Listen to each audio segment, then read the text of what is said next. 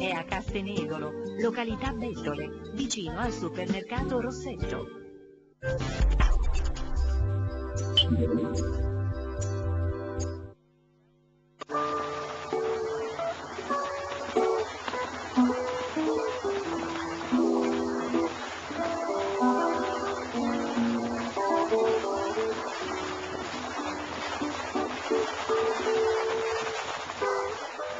Adesso non capisco se è l'effetto pioggia, perché così siamo in tema con quest'angolo, o se il nostro Massimo, visto che venerdì, si lascia andare questi ricordi amorosi del bel tempo andato. Appunto. È Massimo, è il nostro regista, vabbè. Allora amici, vi presento mh, i nostri ospiti dell'ultima tranche, attesissimi, ma sapete che la gente vi aspetta perché vuole sapere un po' tutte queste curiosità. Fanno addirittura sul meteo dei veri e propri spettacoli, in America non parliamone. Eh, cominciano anche in Italia, per cui anche noi nel nostro piccolo, nel nostro angolo abbiamo un ascolto veramente incredibile di gente che vuole saperne di più. Con noi Nicola Gelfi e Riccardo Paroni per il centro Buonasera. Meteo Lombardo e Meteo Passione. Oh, bene, allora, bene mica tanto, perché purtroppo, insomma, eh, ci sono stati negli ultimi Sì. giorni dei momenti anche preoccupanti, Esatto. tragici per la nostra provincia, In vero? particolare, esatto, la settimana scorsa tra venerdì e sabato, nella notte di sabato, c'è stato davvero un temporale intensissimo in alcune zone della bassa bresciana, in particolare Brandico, in cui sono caduti 153 mm di pioggia in pochissime ore, che è un dato davvero eccezionale se teniamo conto che a Ghedi la media mensile eh, per quanto riguarda le precipitazioni per ottobre è 80 mm. A Brandico in poche ore è caduto quasi il doppio della pioggia che dovrebbe cadere in un mese.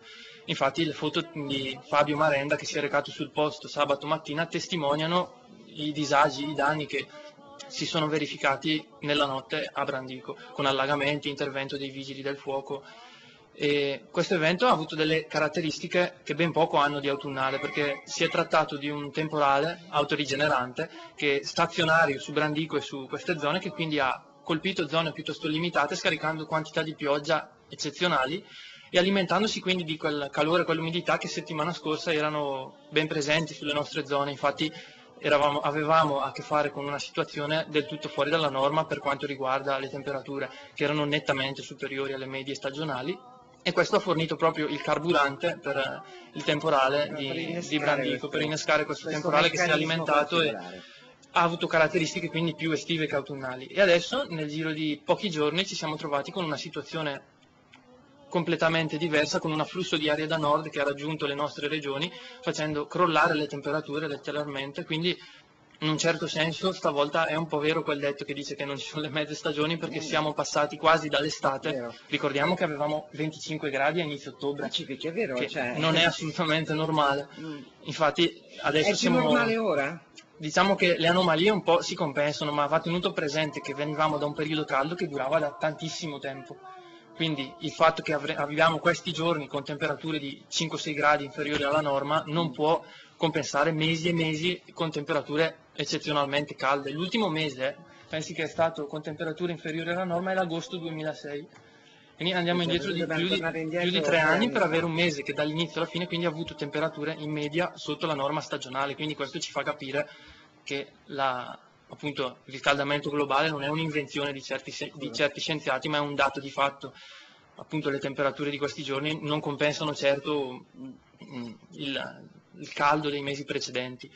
Adesso per capire se insomma quest'inverno è arrivato oppure no, prima andiamo eh, un pochino invece a vedere nell'immediato quello che potrà succedere. Sì. Vediamo delle immagini molto particolari. Io partirei subito quindi a commentare l'immagine appena scattata dal satellite Meteosat che potete ora visualizzare in diretta. Vediamo, eccola. Intense correnti settentrionali, come anticipato Riccardo, stanno investendo la nostra penisola ormai da qualche giorno.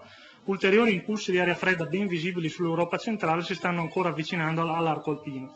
Un fronte freddo infatti valicherà durante la prossima notte le Alpi. Questo fronte freddo porterà nuovamente a un'ulteriore flessione delle temperature che si porteranno a su valori ancora più bassi rispetto già- ai già bassi valori registrati in questi giorni. Questa è la situazione prevista al suolo per domani, come potete notare l'anticiclone della zona è ancora defilato in posizione molto settentrionale per il periodo, è centrato tra eh, l'Inghilterra e la Scozia e convoglia sul suo bordo orientale intense correnti da nord-nord-est.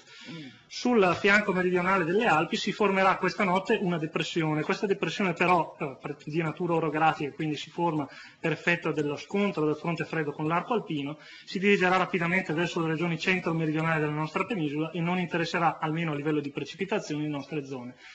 Qualche debole fenomeno di instabilità nella giornata di domani si potrebbe formare lungo i rilievi, ma si tratterà più che altro di nubi senza precipitazioni di rilievo. Se ci spostiamo invece alla giornata di domenica possiamo notare come la depressione si è approfondita e si è spostata appunto sulle regioni meridionali portando estese precipitazioni, mentre l'anticiclone dalla Scozia si riporta su posizioni più meridionali inglobando gradualmente le nostre zone e riportando quindi tempo stabile anche se con temperature molto sotto la norma. Passiamo dunque alle, nostre, alle previsioni. Qua spendo due parole però per commentare i dati delle temperature registrati ieri, giovedì 15 ottobre, in città. Come potete notare la minima intorno ai 6 gradi e la massima sui 14, sono valori rispettivamente di 3 e 6 gradi al di sotto della norma del periodo. Se vi ricordate, la settimana scorsa commentavo valori della, con l'anomalia di uguale magnitudine ma con segno opposto, con 6-7 gradi al di sopra della norma. Quindi siamo passati da condizioni estive a condizioni tarda autunnali paragonabili a quelle che si registrano normalmente a metà novembre. Passiamo dunque alle nostre, alle nostre previsioni. Domani, sabato 17, avremo una giornata caratterizzata da nuvolosità variabile, schiarite ampie in pianura, nel pomeriggio sera qualche nuvola in più potrebbe formarsi lungo le prealpi, associata a deboli e isolati eh, fenomeni, eh, con qualche fiocco di neve che potrebbe spingersi addirittura intorno agli 800-900 metri, ma si tratterà di fenomeni veramente di poco conto. Nella giornata di domenica le schiarite si faranno sempre più ampie. Da segnalare nella giornata di domani ancora la possibilità della comparsa di quel fenomeno chiamato feno, ovvero il vento secco proveniente dalle Alpi, che però questa volta sarà di natura fredda. Infatti, come potete notare, le massime non saranno assolutamente elevate, si fermeranno domani intorno ai 16-18 gradi e si, e si abbasseranno addirittura intorno ai 15-17 nella giornata di domenica. I primi giorni della prossima settimana saranno caratterizzati ancora da tempo stabile e soleggiato e temperature scenderanno ulteriormente vicino allo zero fuori città nelle prime ore del mattino e le massime non supereranno di molto i 12-13 gradi. Non si vedono ancora all'orizzonte le piogge autunnali che dovrebbero essere classiche in questo periodo, forse solo dal dopo la metà della settimana prossima le perturbazioni atlantiche potrebbero far visita alle nostre zone. Allora, non piove questo fine settimana? No, Signore care, possiamo stendere? No, stavo pensando che c'è la lavatrice piena. A parte il Posso vento. stendere? A parte il Eh, vento. beh, meglio, perché così si asciuga meglio, certo. Allora, eh, abbiamo quanto tempo tesoro mio? Cinque, eh, voglia, cinque minuti. C'è, noi eh, il venerdì abbiamo questo momento in cui ci troviamo e voi ci fate questo gran regalo dandoci le indicazioni. Però ci sono dei siti dove noi possiamo andare, Esatto. anche per monitorare un po' durante la settimana Esatto, il tempo. infatti eh, invito tutti a collegarsi al sito del Centro Meteo Lombardo, quindi www.centrometeolombardo.com e anche a una realtà più specificatamente bresciana, quindi che riguarda la nostra città, che è www.meteopassione.com. Su questi siti, oltre a noi meteo appassionati che seguiamo appunto l'evoluzione del tempo, si può vedere in diretta da molte stazioni meteorologiche di Brescia provincia e anche di tutta la Lombardia sul centro meteo lombardo, si può vedere appunto la condizione, con le condizioni del tempo, quindi temperatura, umidità, pressione, tenere sotto controllo un po' quello che eh, accade, eh, che sta accadendo in questi giorni, quindi con una, una cartina real time molto utile. E possiamo appunto seguire il, le- siamo, la situazione appunto, stiamo vedendo il sito di Meteo Passione, esatto. eh, sta lavorando nel frattempo per noi, eccolo qua. E per cui insomma sono Questa, delle sì. indicazioni che noi possiamo tenere presenti. È l'home page di la Meteo Passione in cui c'è anche un forum di appunto noi appassionati che Ah, commentiamo in tempo reale le varie situazioni. Settimana. Allora, ma questo inverno?